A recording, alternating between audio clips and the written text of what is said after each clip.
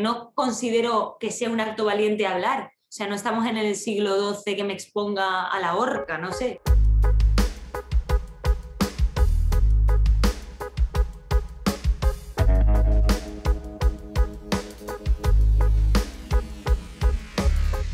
Pero mucha gente le corrigió ¿no? al diario y le ponían la actriz anti-Vox, anti que además tiene la pareja que sea. Eh, yo también lo vería más acertado en ese lugar, porque poner que soy con una persona con otra en primer lugar, mmm, no sé si es lo que más me representa como persona. Eh, pero, pero bueno, es que al final eh, es absurdo porque todo el rato en las entrevistas me preguntan como para que denuncie el machismo que sufro, pero la mayoría de preguntas van destinadas a mi pareja o la problemática que causa mi pareja y no me preguntan por mi proyecto o por lo que estoy trabajando como actriz. Es un poco la pescadilla que se muerde la cola.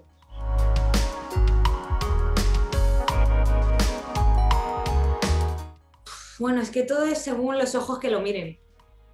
Eh, pero eh, sí, bueno, todos sabemos, es bien conocido que la misma noticia en diferentes diarios, el titular es totalmente antagonista. Entonces, según qué diario leas, el titular será blanco o negro. Y esto es un poco, bueno, según quien lo escriba, lo considera A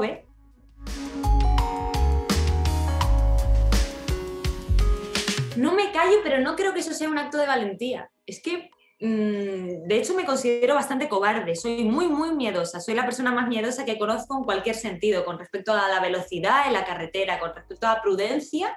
Soy muy, muy, muy miedosa. Pero con respecto a no callarme, es que es algo tan que va en mi ADN y que no entiendo por qué no puedo decir si algo no me parece bien o no utilizar el altavoz que tengo para mejorar ciertas cosas que no considero que sea un acto valiente hablar. O sea, no estamos en el siglo XII que me exponga a la horca, no sé. Mm, lo veo algo normal. Y que tampoco considero que mi opinión sea tan importante. O sea, al final es una opinión. Y al final nos preguntan a, los actores sobre ciertos temas eh, que realmente nuestra opinión tiene la misma validez que si se la preguntas al señor que hace pan en el pueblo. O sea, deja ser una opinión de una persona.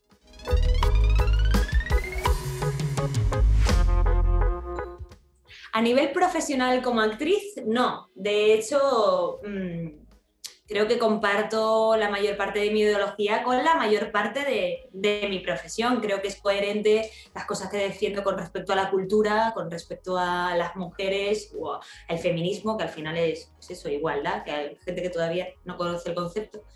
Eh, pero sí de cara a campañas a lo mejor publicitarias o ciertos medios, eh, desde que me posiciono de forma férrima, yo que sé, en contra de la tauromaquia o sobre ciertos temas, sí he notado eh, que, bueno, que ya no, les interesa que, que estar entre sus páginas o lo que sea.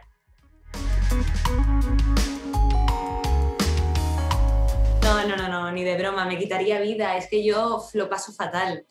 Em, me desgasta mucho, o sea, creo que remar con una fuerza tan que va, no, no podría.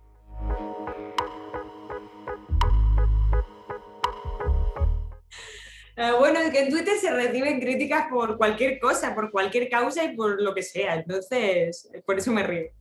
Pero, tengo temporadas de esto. Si haces un seguimiento, de repente tengo días como, jo, qué fuerte esto, tengo que denunciar esta situación y luego me paso a lo mejor dos meses sin abrir la boca porque dices tú, no me compensa, bueno, estoy realmente metida en muchísimo trabajo y no tengo tiempo de estar tuiteando.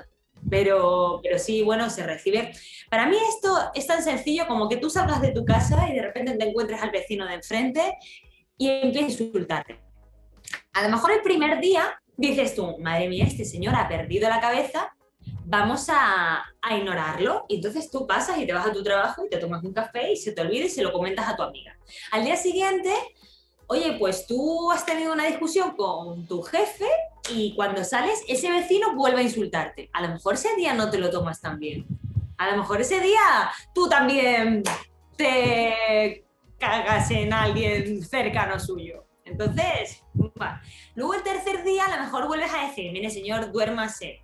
Entonces yo creo que va un poco también ligado a, a tu estado de ánimo, a tus circunstancias personales y días que puedes mirar para otro lado y días que tú también estás con, con el vaso lleno y no toleras faltas de respeto. A ver, entiendo que lo que hay que hacer es ir a comisaría y denunciar. Eh, yo lo he hecho en alguna ocasión. Eh, se ha traducido en nada, o al menos que yo me haya enterado, no lo sé. Eh, también tienes que tener en cuenta que si tú tienes una vida familiar, una vida laboral, tú no puedes estar todo el día yendo a comisaría. Que hay que tener una cuestión de practicidad y de ser consciente de tener los pies en la tierra de, los, del tiempo que tienes en tu vida libre o, o tiempo que tienes para hacer eso. Y si es una cuestión constante, pues por eso digo, como relativizar todo y, en el momento en que ya, por ejemplo, lo de Candela, que me parece un acto gravísimo, pues en ese momento sí, y el resto, pues denunciar en la propia red social, eh, que le cierre la cuenta, porque obviamente no están capacitados para tener un altavoz.